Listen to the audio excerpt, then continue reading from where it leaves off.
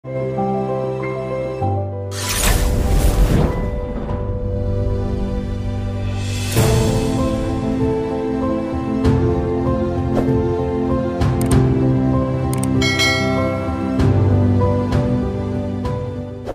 Wahyu selalu menyajikan tantangan tersendiri kepada para penafsir. Kitab ini dipenuhi dengan berbagai gambaran dan simbolisme yang kuat, sehingga menimbulkan berbagai penafsiran. Tergantung pada prakonsepsi seseorang terhadap isi kitab tersebut secara keseluruhan. Ada empat pendekatan utama dalam menafsirkan kitab Wahyu.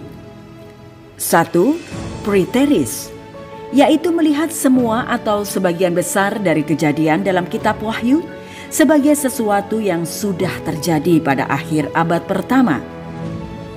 Dua, historicis, yaitu melihat kitab Wahyu sebagai survei sejarah gereja dari zaman para rasul hingga saat ini. Tiga, idealis atau idealis, yaitu melihat kitab Wahyu sebagai gambaran atas pergumulan antara kebaikan dan kejahatan. Dan empat, futurist, yaitu melihat kitab Wahyu sebagai nubuatan dari kejadian-kejadian di masa yang akan datang.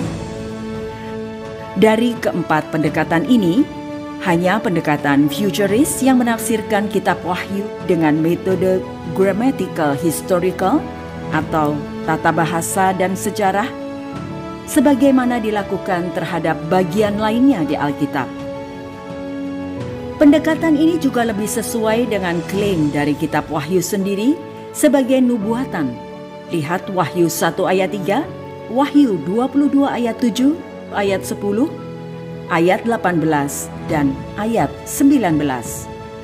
Jadi jawaban dari pertanyaan, siapakah 144 ribu orang yang dimaksud di kitab Wahyu? akan tergantung pada pendekatan apa yang saudara pegang dalam memahami kitab Wahyu. Kecuali pendekatan futurist, pendekatan lain penafsirkan angka 144 ribu itu secara simbolis sebagai wakil dari gereja. Angka 144 ribu dianggap sebagai simbol dari totalitas. Misalnya, angka sempurna dari gereja namun ketika melihat bagian tersebut secara apa adanya, dan aku mendengar jumlah mereka yang dimeteraikan itu, 144 ribu yang telah dimeteraikan dari semua suku keturunan Israel. Wahyu 7 ayat 4 Tidak ada satu bagian pun di bagian ini yang mengharuskan kita menafsirkan 144 ribu ini secara simbolis. Angka 144 ribu ini merujuk pada orang-orang Yahudi, di mana masing-masing 12 ribu orang diambil dari segenap suku keturunan Israel. Perjanjian baru tidak pernah menyatakan kalau entitas bangsa Israel digantikan oleh gereja. Para orang Yahudi yang dimeteraikan ini berarti mendapatkan perlindungan khusus dari Allah terhadap semua penghakiman ilahi termasuk dari si antikristus yang sedang menjalankan misinya di masa siksaan yang dahsyat. Lihat Wahyu 6 ayat 17, di mana orang-orang akan ingin tahu siapa yang dapat bertahan dari murka yang akan datang. Masa siksaan atau tribulasi itu adalah masa tujuh tahun yang akan datang, di mana Allah akan melaksanakan penghakiman ilahi terhadap mereka yang menolaknya Allah akan menggenapi rencana keselamatannya bagi bangsa Israel. Semua ini seturut dengan wahyu Allah kepada Nabi Daniel. Daniel 9 ayat 24 sampai 27.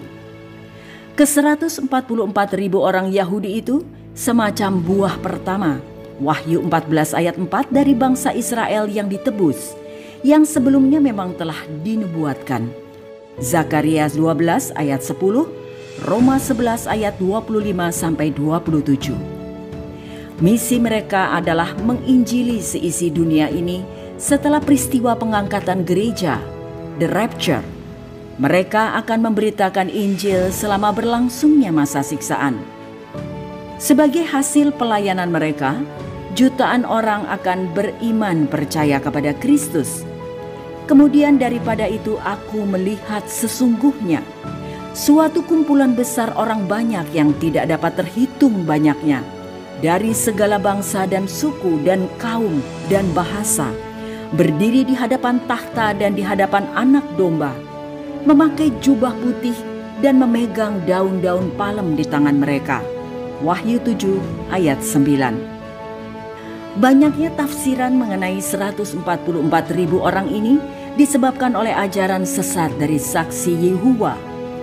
Saksi Yehua menyatakan bahwa 144 ribu orang itu adalah batas jumlah orang-orang yang akan memerintah bersama Kristus di surga dan menikmati kekekalan bersama dengan Kristus. 144 ribu orang itu dianggap memiliki pengharapan surgawi. Sementara itu, mereka yang tidak termasuk dalam 144 ribu orang ini hanya akan menikmati pengharapan duniawi, surga di atas bumi yang berada di bawah pemerintahan Kristus dan 144 ribu orang itu.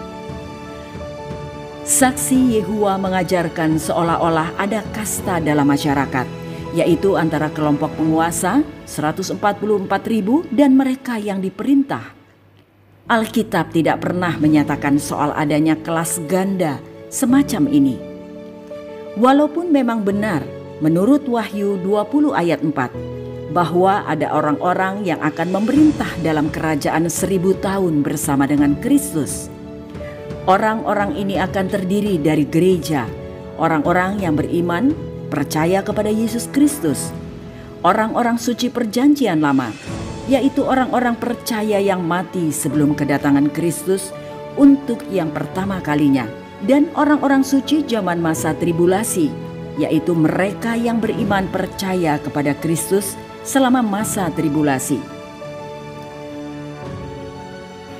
Namun, Alkitab tidak membatasi jumlah dari kelompok ini. Apalagi masa kerajaan seribu tahun ini akan jauh berbeda dengan masa kekekalan masa di mana setelah berlangsungnya masa seribu tahun ini, di langit yang baru dan bumi yang baru, Allah akan berdiam bersama kita di Yerusalem baru. Dia akan menjadi Allah kita dan kita akan menjadi umatnya. Wahyu 21 ayat 3 Warisan yang dijanjikan kepada kita di dalam Kristus dan yang dimeteraikan oleh roh kudus akan menjadi milik kita Efesus 1 ayat 13 sampai 14. Kita akan menjadi pewaris bersama dengan Kristus. Roma 8 ayat 17.